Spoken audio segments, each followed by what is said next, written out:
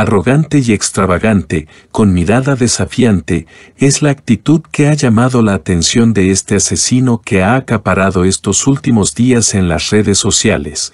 Él es Ward Wilson de 30 años que fue declarado culpable de una serie de cargos en los que destaca el asesinato brutal de dos mujeres, agresión física de una tercera víctima, el robo de una casa habitación y un automóvil con sus tatuajes en el rostro que son inspirados en el personaje de El Joker el villano de Batman y que por su nombre ha sido apodado el Deadpool asesino. Wilson se ha mostrado durante todo su juicio con una falta aparente de remordimiento ante las atrocidades cometidas.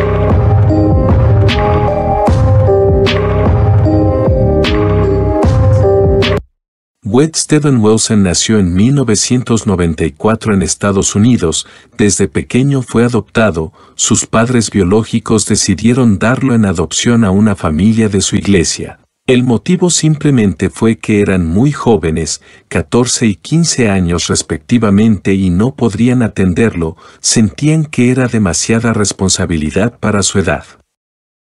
Tallahassee, Florida fue el lugar donde Wilson creció junto a sus padres adoptivos, Stephen Wilson y Candy. Se sabe que el camino de Wed ha sido trazado con una serie de malas decisiones. Con apenas 16 años comenzó a acumular un historial policial. Para el 2010 logró acumular más de 20 arrestos por delitos como fraude, invasión de propiedad privada y agresión física. Wed en algún momento se mudó al condado de Lee y al cumplir la mayoría de edad decidió buscar a su padre biológico Steven, quien vivía en Lakeland. El hombre se dedicaba a la reparación de puertas y ventanas y había formado una familia con su esposa y sus dos hijas. La inesperada aparición de ese hijo que había abandonado al nacer fue para Steven una mezcla de miedo e incertidumbre, pues no estaba seguro de que pudieran reconciliarse después de tantos años. Ante todo eso de igual manera accedió a conocer a Wed, ese primer encuentro las palabras fluyeron de buena manera, aunque eran dos completos extraños en el fondo Steven pensaba que había recuperado a su hijo, sin embargo las cosas no resultaron como él esperaba.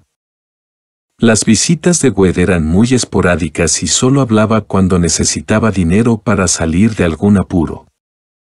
En diciembre del 2018 robó a su novia Callie Meshes, fue arrestado y acusado de empeñar las pertenencias sustraídas pero a los pocos días salió libre bajo fianza. Eso solo era el inicio de una serie de violencia que se desataría en la vida de Wed. En venganza por la denuncia de Kelly, ya en el 2019, la llevó en contra de su voluntad a los Cayos de Florida donde la agredió física y sexualmente, la chica lo denunció por estos nuevos hechos. Pero a pesar del historial de Wed, nuevamente fue puesto en libertad bajo fianza.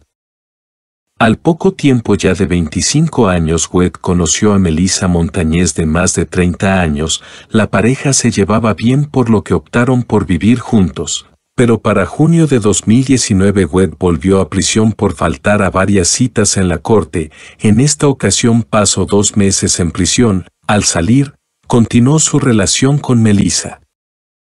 La noche del 6 de octubre del 2019 Melissa y Wed salieron a divertirse a un bar, pero a medianoche de la velada se desató una pelea entre ellos dos ya que Wed quería ir a la casa de Jason Shepard un hombre al que había conocido en esa noche pero ella le dijo que no se sentía cómoda yendo a la casa de un desconocido. Molesto ante la negativa de su novia Wed salió enojado del bar llevándose el carro de Melissa, quien al verse sin transporte, molesta llamó a su amiga Amy Slobotsia para que pasara por ella al bar. Esa misma noche luego de dejar a su novia en el bar Wet se fue con Jason a un bar donde conoció a Kristen and Mountain de 35 años, ella era un pilar para quienes la conocía. No tenía hijos pero sí sobrinos a quienes amaba como a sus propios hijos. La relación con su madre era excelente y sus amigos la describían como una mujer fuerte y optimista que le gustaba mucho viajar buscando nuevas experiencias. Esa noche del 6 de octubre ella estaba con Stephanie en un bar donde se tocaba música en vivo cuando Wet de 25 años llegó acompañado de Jason, se presentó con el nombre de JR.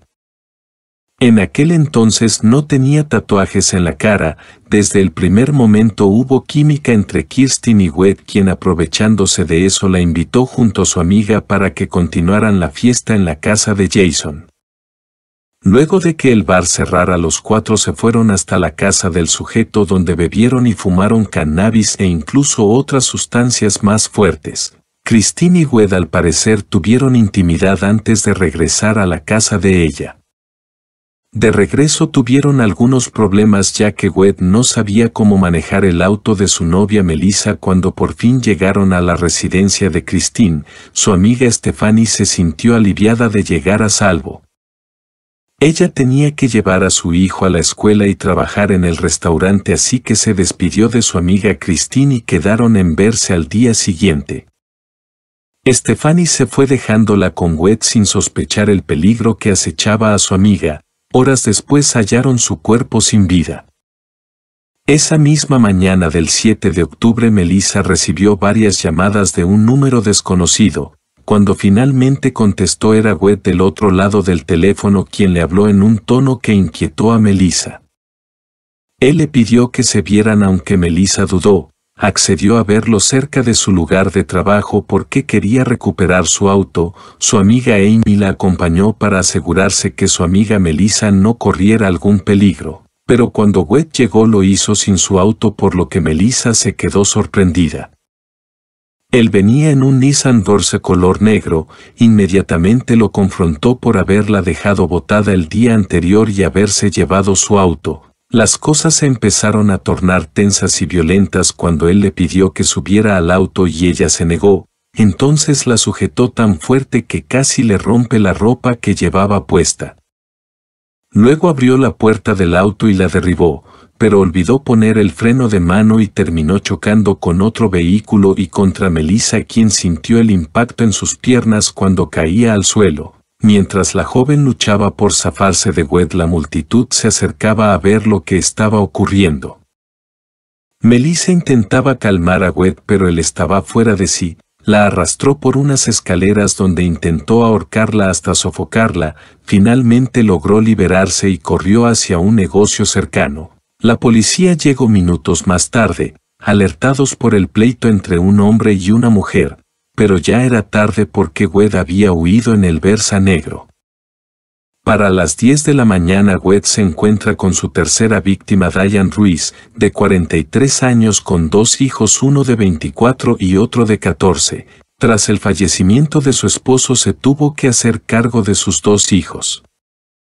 Diane trabajaba como camarera en un establecimiento, esa mañana decidió caminar hasta su trabajo que le tomaba poco más de 10 minutos. Sin embargo, ese día se cruzó con Wed en su camino quien fingió estar perdido y buscaba la dirección de una secundaria, le pidió ayuda a Diane, le dijo que subiera a su auto y le mostrara el camino. No se sabe si se subió de manera voluntaria o fue subida de manera forzada al auto, pero lo que sí se sabe es que una vez dentro del auto el sujeto rodeó su cuello con sus manos y apretó con fuerza hasta dejarla inconsciente, luego se dirigió hasta un lote baldío para deshacerse del cuerpo. Pero al darse cuenta de que Diane seguía viva se subió al auto y la atropelló por lo menos unas 20 veces hasta que finalmente falleció. Pero con lo que no contaba Wed es que un vecino de enfrente del lote baldío donde dejó el cadáver logró ver el vehículo Nissan Dorsa negro el cual lo identificó posteriormente. Alrededor de las 3 de la tarde de ese mismo día el oficial de la policía Timothy logró dar con el paradero de Wed a quien solo lo buscaban hasta ese momento por la agresión a Melissa, Las imágenes de la cámara corporal del oficial mostraron a Wed dentro del Nissan negro estacionado, el sujeto se veía nervioso. Le dijo a la gente que estaba esperando a su novia, cuando intentó detenerlo Wed logró escaparse. Debido a que la policía aún no estaba al tanto de la muerte de Christine y Diane y solo tenía reportes sobre la agresión de Melissa no pudieron perseguirlo ya que por un delito menor no justifica una persecución que podría dañar a más personas y propiedades. De esta manera Webb condujo hasta el negocio de un conocido, descalzo, sin camisa, con pantalones deportivos y ensangrentado. Le platicó al hombre sobre los dos asesinatos que había cometido y que necesitaba dinero para comprar boletos de avión o de autobús para huir de la ciudad. El hombre no daba crédito a lo que estaba diciendo Webb. Asustado salió del negocio y habló a la policía, les mencionó todas las aberraciones que Wed le acababa de contar. Aunque la policía llegó minutos más tarde no fue suficiente ya que Wed escapó y dejó abandonado el Nissan Dorse de Christine en el estacionamiento. Más tarde la policía estaría recibiendo el reporte de la desaparición de Diane Ruiz reportada alrededor de las 4 de la tarde luego de que no se presentara a trabajar. Su bolsa se había encontrado abandonada a la orilla de la carretera lo que hizo sospechar que estaba en peligro. Por otro lado, Stephanie, la amiga de Christine, fue contactada por el departamento de policía preguntándole si sabía dónde estaba su amiga o por qué se encontró su automóvil en Formers. Stephanie les contó sobre su encuentro la noche anterior con un hombre llamado JR con quien había dejado a Christine esa mañana en su casa, Temiendo por la seguridad de la mujer, esa noche la policía irrumpió en su casa. Al inspeccionar el inmueble, en un pasillo cerca del dormitorio vieron un gran bulto de sábanas y ropa, al levantar las prendas encontraron el cuerpo de Christine totalmente rígido. Más adelante estudios comprobaron que la víctima presentó una hemorragia en el cuello, heridas internas incluidas contusiones en los pulmones y en el colon además de varios hematomas en el cuerpo y una muerte por asfixia, así fue como Wet se convirtió en el principal sospechoso de la muerte de Christine. Un policía de investigación ya había alertado al padre biológico de Wet de lo que estaba ocurriendo, le mencionó que si sabía algo de su hijo que se comunicara al departamento de policía de inmediato. Y así fue, Steven padre de Wed informó a la policía que había recibido llamadas de su hijo confesando con detalle los asesinatos. Steven no podía creer lo que escuchaba de la boca de su hijo, en un inicio el padre quería ayudarlo, pero al final decidió no hacerlo, de lo contrario le pidió a Wed que le diera la dirección de donde estaba para enviarle un auto para que pudiera escapar, pero en lugar de ayudarlo, decidió hablar a la policía y dar la ubicación de Wed. Fue así como fue detenido Wed, en una casa en la que se había escondido, cuya familia había salido fuera ese día. Fue llevado al departamento de policía de Coro para ser fichado y luego fue trasladado a la cárcel del condado de Lee. Basados en todas las pruebas el 19 de noviembre del 2019, se realizó una audiencia remota en la que Webb compareció desde prisión. La fiscal estatal lo imputó por dos cargos de asesinato en primer grado, así como de robo agravado, agresión, allanamiento de morada y hurto menor. A pesar de todas estas acusaciones, Webb ahora confesaba que era inocente. Debido a la pandemia el juicio se ha retrasado cinco años en los que Wed ahora ha conseguido de hacerse de dos cargos más dentro de prisión, una por intentar escapar con otro compañero y por la distribución de sustancias.